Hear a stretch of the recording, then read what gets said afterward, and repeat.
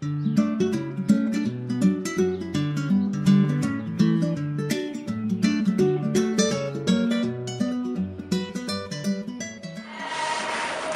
curriculum emphasizes hands-on learning. All of our students have opportunities to take a variety of different courses so they can gain real-world experience and successfully enter the industry upon graduation. Our equine students can take riding and carriage driving skills courses at our on-campus equestrian center as part of their academic curriculum. They also can go to our on-campus breeding center and experience hands-on learning about the breeding process from start to finish.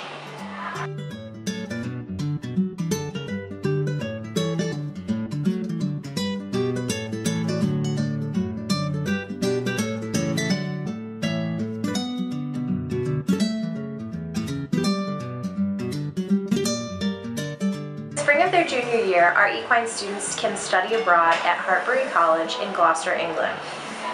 This is a really unique and super fun opportunity for them.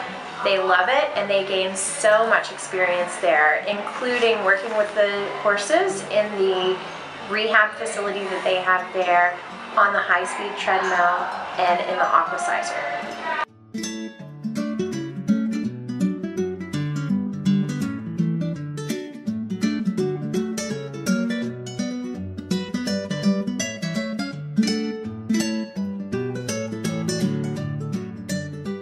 British Horse Society is an international governing body that not only sets a standard for riding and horsemanship, but it also does a lot in efforts as far as welfare and safety in the equine world.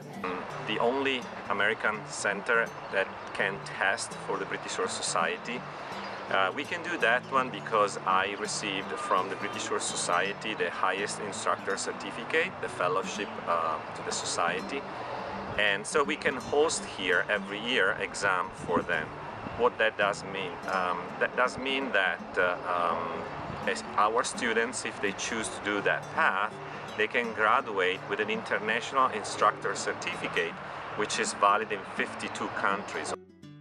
For being in the British Horse Society as far as our university students go, it's a perfect complement to our idea that students should be well-rounded horsemen and riders in the disciplines of dressage, show jumping, and eventing, as well as being able to perform general practical stable management type skills and lunge and instruct riders up to a level below that which they have tested.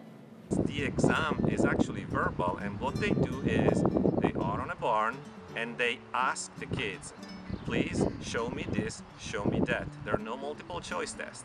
It's that's the pile of stuff that you need to use, pick what you need, go and demonstrate um, what you need to do. So we really uh, have to also train our students to be hands-on.